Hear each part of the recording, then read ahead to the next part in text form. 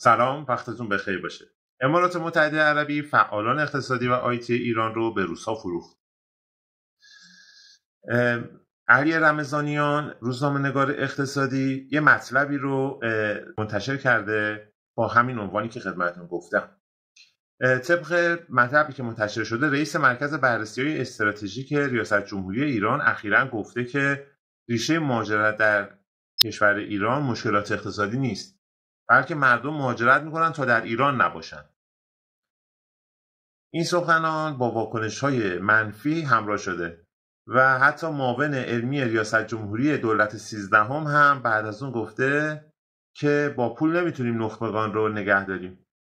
مخالفان دیدگاه رئیس مرکز بررسی های استراتژیک ریاست جمهوری میگن که درسته که شرایط اجتماعی و سیاسی سبب مهاجرت گسترده ایرانی ها شده. ولی مسائل اقتصادی هم از دلایل اصلی مهاجرت ایرانی است. به همین دلیل از کادر درمان گرفته تا قنادان نجاران حتی کارگران ساده هم به کشورهای همسایه مهاجرت می‌کنند در حقیقت نبودن در ایران و کوچ اقتصادی و تکنولوژی معنای متفاوتی دارند آنهایی که در کسب و کارهای خاص استارتاپ و آیتی فعال هستند. به دلیل مشکلات پایه‌ای در ایران ترجیح میدن از ایران خارج بشن ولی تصمیم ندارند ارتباط کاری خودشون رو با ایران قطع کنند برای همین ترجیح میدن که در یکی از کشورهای همسایه ساکن بشن. تا هم به بازار ایران دسترسی داشته باشن هم بتونن از فضای باز کشورهای همسایه بهره ببرن. برای بسیاری از این افراد امارات متحده عربی بهترین گزینه است. پیوند بین ایرانیا و اماراتیا بسیار قدیمیه. سایت انتخاب سال 1401 در یک گزارش میدانی نوشت بخش بزرگی از پلیس امارات با لحجه لاری متعلق به استان فارس صحبت می‌کنه. همچنین قسمت مهمی از بازار خورده فروشان این کشور هم از قدیم دست, دست ایرانی ها بوده. با وجود این ارتباط نزدیک در سالهای اخیر شرایط حضور ایرانی ها در امارات با افت و خیسای همراه بوده. اوج شالش ایرانی هم در سال 1392 بوده. خبرگزاری ایسنا در اون زمان گزارش کرد وزارت امنیت امارات با تماس تلفنی با تعدادی از ایرانیان از اونها می‌خواد که با در دست داشتن گذرنامه به اداره امنیت امارات مراجعه کنند بعد از مراجعه این افراد گذرنامه اونا رو می‌گیره توقیف می‌کنه و اقامت اونا رو باطل می‌کنه لغو می‌کنه. یک فرصت دو هفته ای یا حداکثر یک ماهه به اونا میده تا کشور امارات رو ترک کنن. حتی 500 نفر که 25 سال در این کشور اقامت داشتن هم اخراج می‌کنه نشریه تجارت فردا هم در همان سال گزارش می‌کنه که 4000 شرکت در امارات فعال هستند که 300 میلیارد دلار سرمایه گذاری در این کشور انجام دادن. بعد از این چالش ایرانیا بخش بزرگی از سرمایه خودشون رو از امارات خارج می‌کنن. علت اصلی این مشکل برای ایرانیا تحریم های آمریکا و بالا گرفتن تنش ایران و امارات متحده پیرامون جزایر سگانه ایران بود. البته در سالهای اخیر شرایط ایرانیا توی امارات کمی بهتر شده. در سال 1399 وزارت خارجه ایران جمعیت ایرانی ها تو کشور امارات متحده عربی رو 375 هزار نفر اعلام کرد. بر اساس آخرین آمار دولت در سال 1601 یعنی دو سال بعد از 1399 تعداد ایرانیان مقیم کشور امارات رو وزارت خارجه ایران از 375 هزار نفر 480 هزار نفر اعلام می‌کنه. یعنی چیزی در حدود 105 هزار نفر افزایش توی دو سال اتفاق میفته معادل 4.75 صدام درصد از کل جمعیت کشور امارات که در برخی مواقع تا 5.5 درصد جمعیت کشور امارات رو شامل میشه. بنابراین جمعیت ایرانی ها ظرف دو سال رشد حدود 30 درصدی داشته. با وجود این افزایش 30 درصدی جمعیت ایرانی ها در امارات در ماههای اخیر و بعد از شروع جنگ اوکراین مجددا شرایط برای ایرانی ها کمی سختتر شده و شواهدی وجود داره که روسها جایگاه ایرانی ها رو پر می‌کنن. بنابراین مشاغل ضعیفتری به ایرانی ها سپرده شده و اماراتی ها هم تلاش می‌کنن تا جایگاه مهمتری به روسها بدن. بچه یتیمی که کسی گردن نمی‌گیره حتی سفارت ایران. امارات متحده عربی اصلی تری صادر کننده کالا به ایران در نه ماه نخست سال 1402 بوده. با تمام تلاش هایی که ممکنه هر از چنگایی بین ایران و امارات رخ بده رقم تجارت ایران و امارات رقم بالایی است.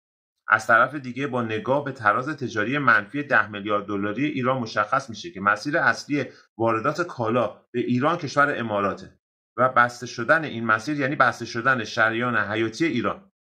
امارات متحده عربی اصلی ترین صادر کننده کالا به ایران در نه ماهه نخست سال 1402 بود همونجور که گفتم در این دوره رقم تجارت ایران و امارات متحده عربی حدود 20 میلیارد دلار بوده که شامل 15 میلیارد دلار واردات کالا به ایران و 4 میلیارد و 700 میلیون دلار صادرات به کشور امارات بوده.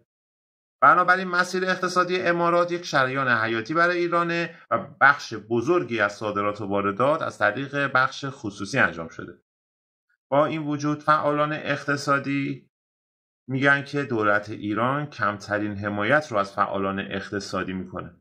یکی از اتاقهای بازرگانی ایران و امارات معتقده که فعالان اقتصادی ایران از هر جهتی تحت فشار قرار دارند هم در ایران و هم در کشورهای مقیم. با چالش های زیادی همراه هستند این فعالان شبیه بچه یتیمی هستند که هیچ کس اونا رو گردن نمی‌گیره. صرافی های دولتی ایران به بازرگانان ایرانی اچاف می‌کنند. حتی سفارت جمهوری اسلامی ایران در امارات هم کار خاصی برای اونا انجام نمیده. علاوه بر اینها بانک مرکزی هم با تصمیم های خلق و نفس فعالان اقتصادی و صادر و واردکنندگان کنندگان رو بریده.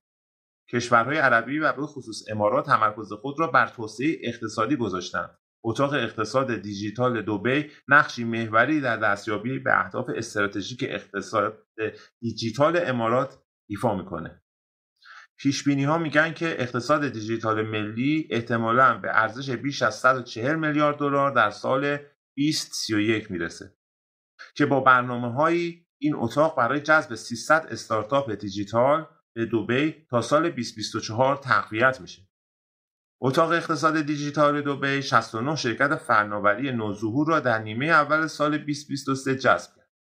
بر اساس همین سیاست ها همیشه از فعالان اقتصادی و استارتاپ های ایرانی استقبال خوبی می‌کردن ولی بعد از جنگ روسیه و اوکراین جایگاه ایرانی ها رو تر از بقیه دیدن. تا جایی که امتیازهایی که قبلا به ایرانی ها می‌دادن رو کمتر کردن و با قوانین سختگیرانه تری با ایرانی برخورد می‌کنن. حال با عملکرد بد دولت و بانک مرکزی ایران تصور کنید که چه فشاری بر فعالان اقتصادی ایران تعمیل میشه از طرف دیگه در ماههای اخیر برخی از بانکهای خصوصی اماراتی به خاطر مسائل سیاسی و حقوقی از ایرانی ها هزینه بیشتری دریافت می‌کنند در بعضی مواقع هم حتی رفتارهای غیرحرفهای انجام میدن که به ضرر ایرانی هست. این اتاق بازرگانی ایران و امارات با اشاره به آبدیده شدن ایرانی ها تاکید داره که برخی از فعالان اقتصادی و فناوری ایرانی در امارات می‌گویند فقط اگر حساب بانکی ما با مشکل روبرو نشه و حداقل امکانات رو داشته باشیم به کار خودمون ادامه میدیم. چون فضای کسب و کار در ایران بسیار بده. از طرف دیگه برخی از تولید کننده های ایرانی برای صادرات به امارات می روند و شریک اماراتی یا هندی پیدا می کنند تا بتونن کالاهای تولیدی ایران رو به کشورهای دیگه صادر کنند چون اگر چهل درصد نهایی تولید یک کالا مانند بندی در داخل خاک امارات انجام بشه کالا به اسم کشور امارات صادر شده و مشکلات تحریمی ایران رو نخواهد داشت. خرید پاسپورت کشورهای دیگه برای فعالیت در امارات.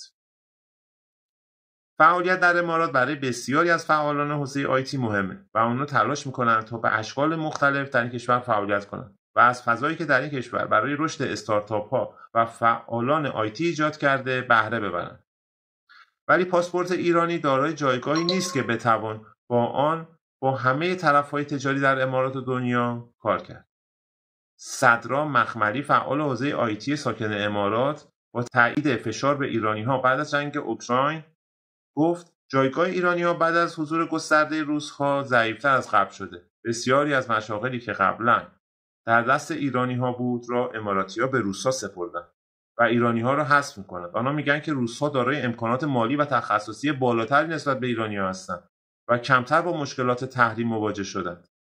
آقای مخملی ادامه میده از طرف دیگه به دلایل سیاسی و تحریم پاسپورت ایرانی در امارات اعتبار کمی داره و برای کارهای اقتصادی مناسب نیست. بر همین اساس ایرانی ها تلاش می‌کنند که پاسپورت کشورهای دیگری مانند دومونیکا را بخرند.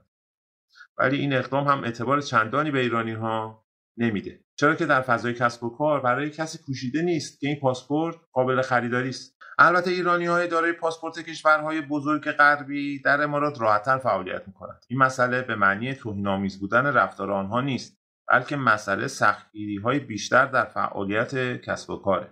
به گفته این فعال استارتاپی اغلب ایرانی هایی که در حوزه سخت افزار در امارات فعال هستند ارتباط تنگی با ایران داشتند.